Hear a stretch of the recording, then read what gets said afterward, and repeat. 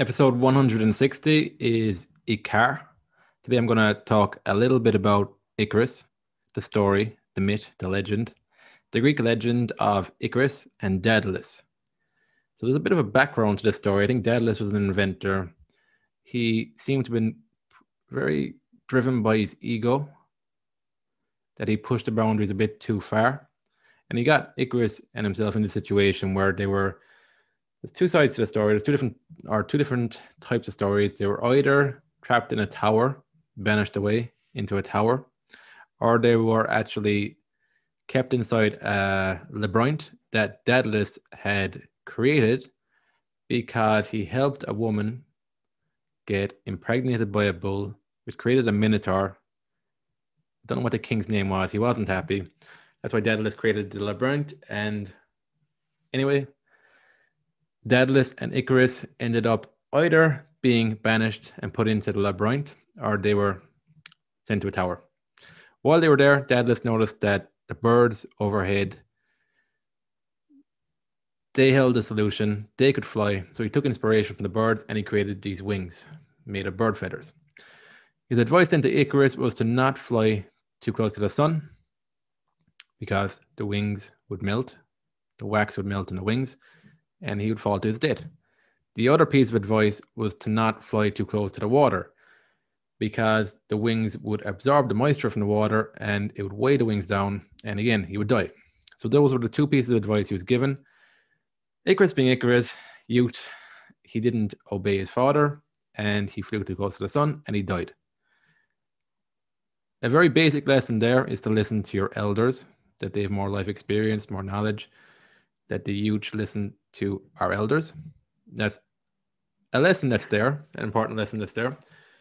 There's other lessons there. That's why I want to talk about it today, uh, as it relates to mental health, art, creativity, and society, dealing with people. Seth Godin actually has a very good book. I'm starting to read it now about Icarus deception. He ties it to art and society. And the way he looks at the Icarus story, it's actually interesting because when I thought of Icarus, and I hadn't briefly looked into the story before doing this podcast, I just thought of the flying too close to the sun part. I never really thought about the flying too close to the water part because that isn't very accentuated in the story in my mind. It was more about not flying too high in life. And in the Icarus Deception, Seth Godin explores the fact that flying too close to the water is just as bad as flying too close to the sun. You'll die both ways and he ties it to being human, creating work that matters, creating art, living in an industrial age which doesn't allow us to be human. It's a systemized process which is focused on efficiency and profit. And there's a place for that in the world, but also we're in a different era. We're not in the industrial revolution anymore. And what's stopping us is that we don't realize that the industrialized way of life has slowly started to fall apart. The value in it has slowly started to disintegrate. It's kind of like even in computing, Moore's law. that's that the computing power doubles. I think it's computing power doubles every year or every 18 months.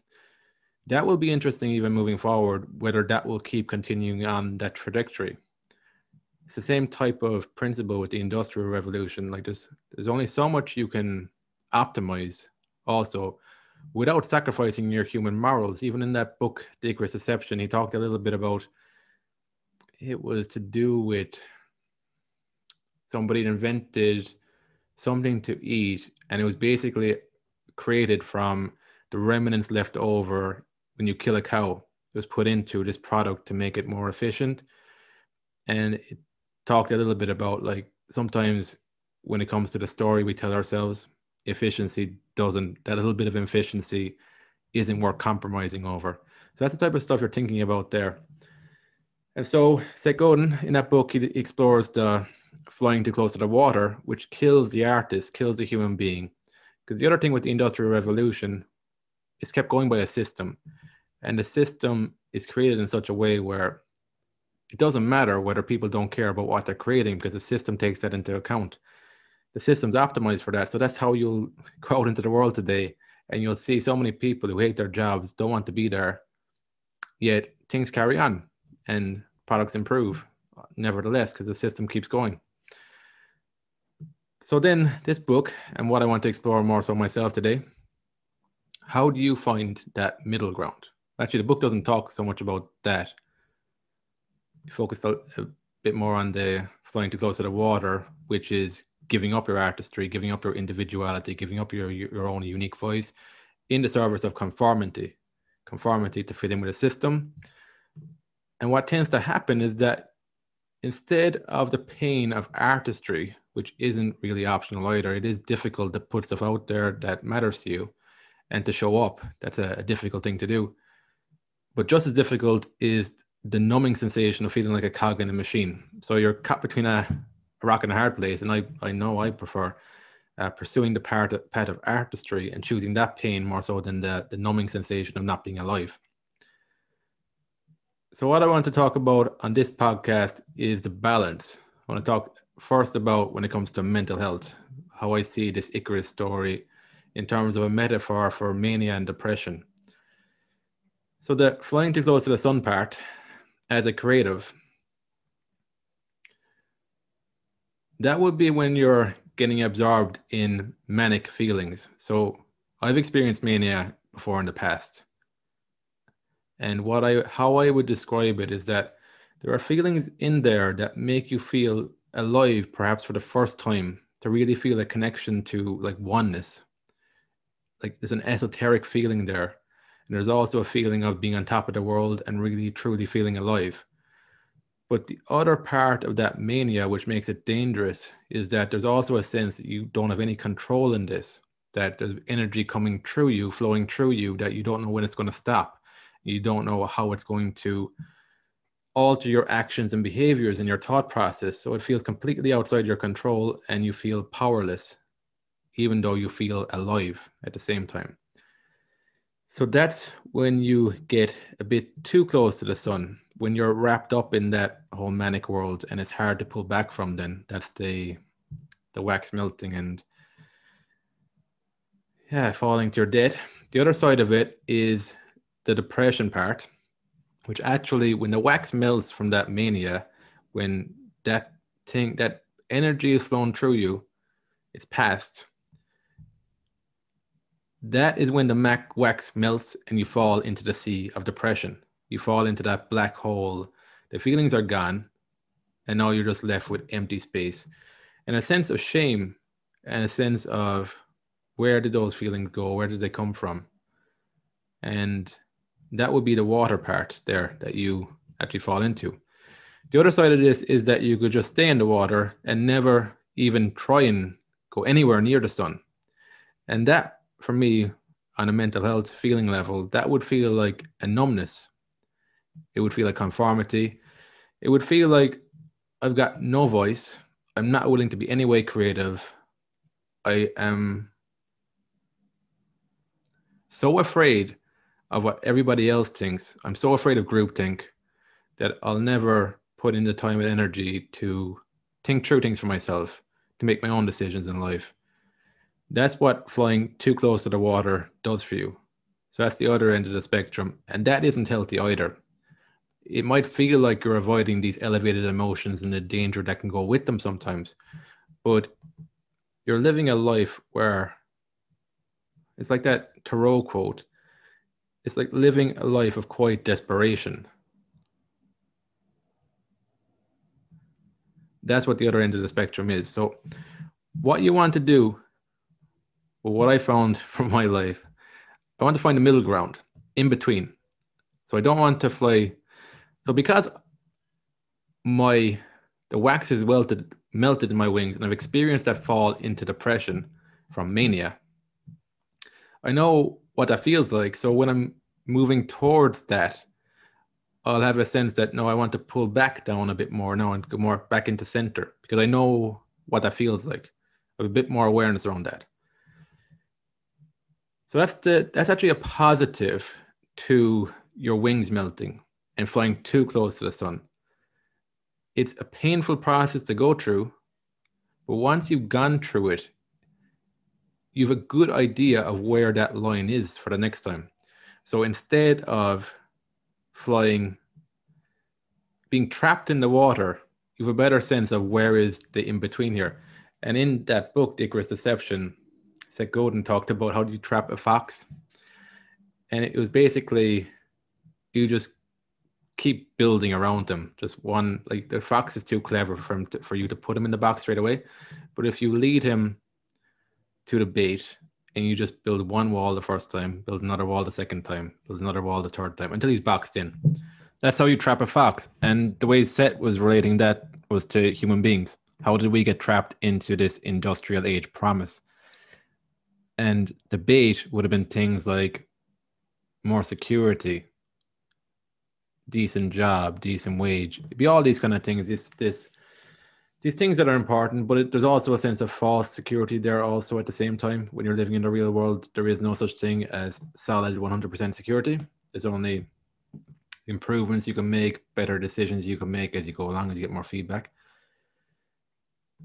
But for the balance part of thing, you can use that that metaphor in a positive sense. That if you have gone to the edge, your your the wax is melted, you fall into debt. Talking here on an emotional level, you can slowly build yourself back up again because you have a feel for where you at least know where the edge on the upper end is but you can slowly build yourself back again so you're stuck in the water but you're going to like gradually level by level build yourself up again so you're not just going to next time fly out into the air and go straight to the sun the next time you do it you'll fly closer to the water but as you move along, you'll slightly move up level by level. So you're moving towards the sun, but you're not making any massive rash risks on it either in terms of your mental health. so that's how I see it with mental health. When it comes to just creativity in general and writing, podcasting, even learning a technical skill like programming.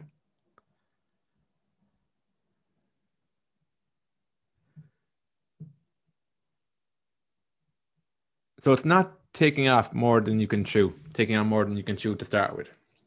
And I find the balance is actually quite a peaceful place. So one of the biggest fears I've had with a podcast and with with showing up being myself, putting voice to how I really think and feel about things. One of the biggest fears I had was that I'll come into conflict a lot of times with a lot of people. And what's helped me is to realize that the middle ground never feels triggering to me. That's not to say that I'm always in the middle ground, but I got that sense of feeling triggered. And I know that that's never the middle ground for me like creativity and things that I'm proud of never come along with a sense of being triggered and reactive to somebody else or to, to their ideology or how they think about things. Even noticing hidden ideologies within myself. So that's helped me to, to realize that as a creative person that the middle ground feels more on an even keel. There's more of a balanced perspective there. And there's a sense of progress.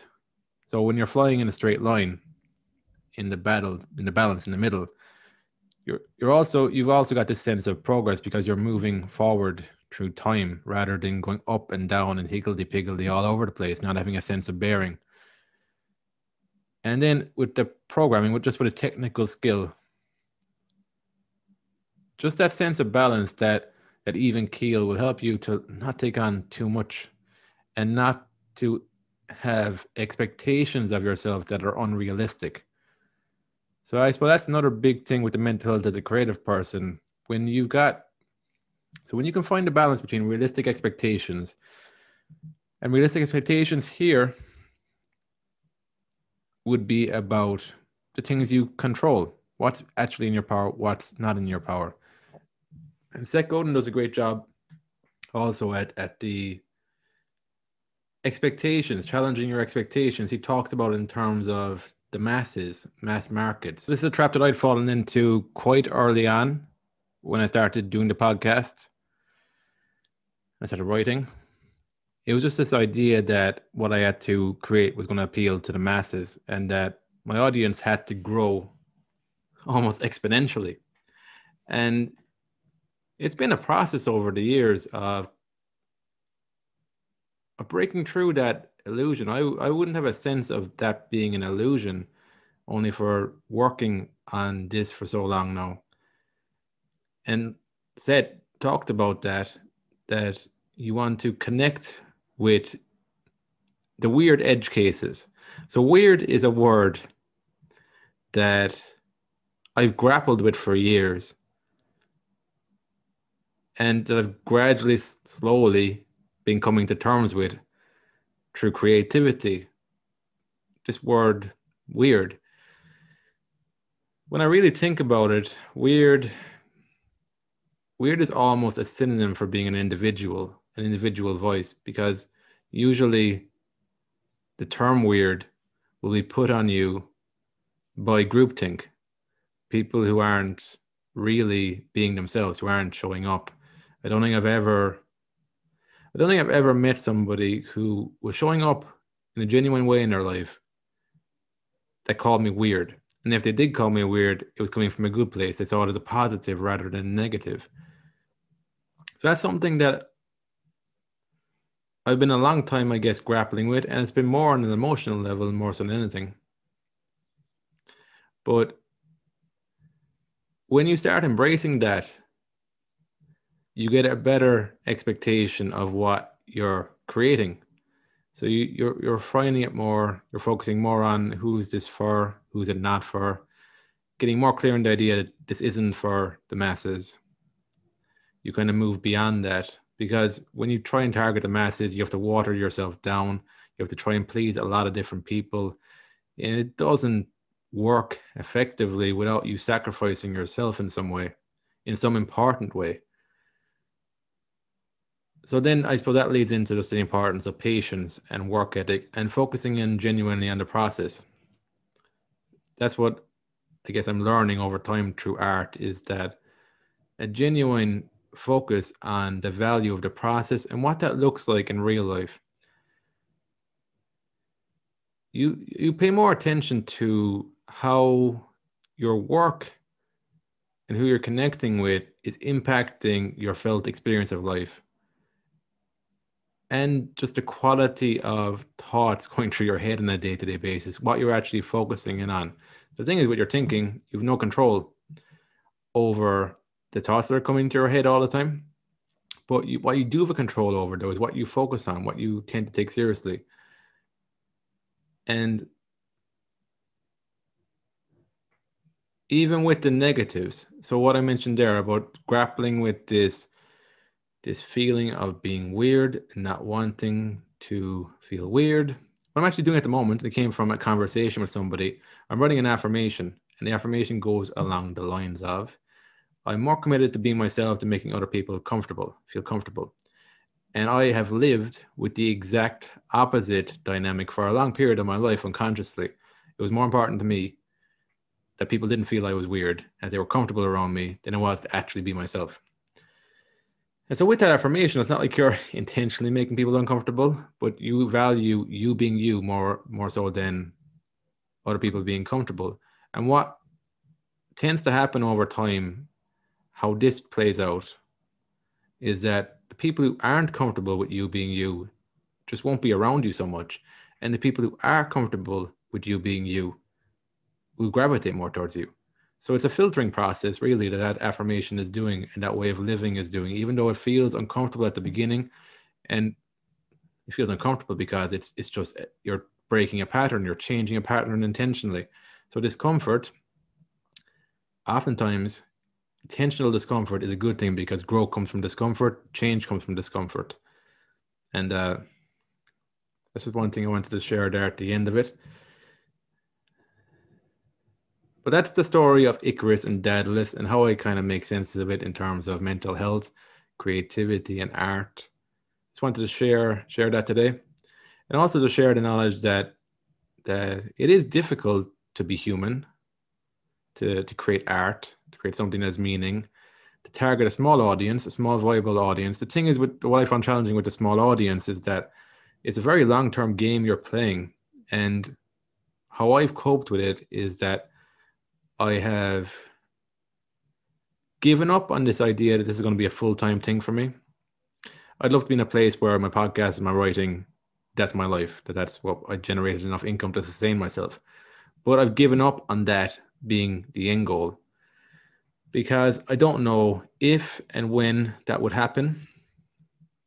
But what I focus more on is the actual process. Like I said, it's how is this work impacting my felt experience of life, who I'm connecting with in the present moment. So that that focus is really important, and uh, and that's that's why the targeting the masses was more appealing to me at the beginning because I felt that if you can get traction on a big wide range of, of an audience, then you'd figure out the monetization part, and then this would become my life. But didn't really turn out like that, and I have come to the conclusion because through reading, through listening to other people, I respect Seth Godin there. I've had him on the podcast. I respect the guy because just the stuff he puts out there is is uh very insightful, really makes you think. And even from talking to him, there's a genuine sense of he's in it for the art. And even as reading his book, it just makes artistry seem so normal. And it puts words to how I felt about artistry also. So it helps it helps just kind of form, reinforce what I kind of feel about art. Art not being somebody who is a painter, but somebody who is in it for the connection, the self-expression, yeah, the connection to self-expression, and th- that way it can take many forms. It's open to many different people. It's not some kind of rare, godlike quality, but it does require bravery and courage and the ability to show up. So I'd recommend reading that book, The Icarus Deception, and just having a think about this stuff. Uh, yeah, enjoyed today's podcast relating it to that story. Made me think a little bit more about what I experienced for, with mania and, and depression uh, in the early part of my 20s. Just put some words to that because these things can be painful going through them, but they're, they're not a bad thing if you can come out the other side because you've got that bearing. It will take time to build yourself up again, but you've got a better feel for the upper limit and the lower limit. So if I'd never gone through manic feelings, then I would still be just flying very close to the water, feeling weighed down, feeling not like myself.